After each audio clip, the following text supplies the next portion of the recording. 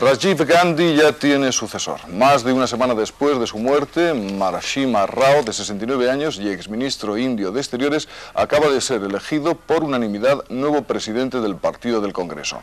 Rao, elegido como figura de consenso entre la vieja guardia y las juventudes del Partido del Congreso, será también el principal candidato por esta formación para las elecciones parlamentarias que, a raíz de la última oleada de violencia y del asesinato de Rajiv Gandhi, han sido aplazadas para la primera quincena del próximo mes mes.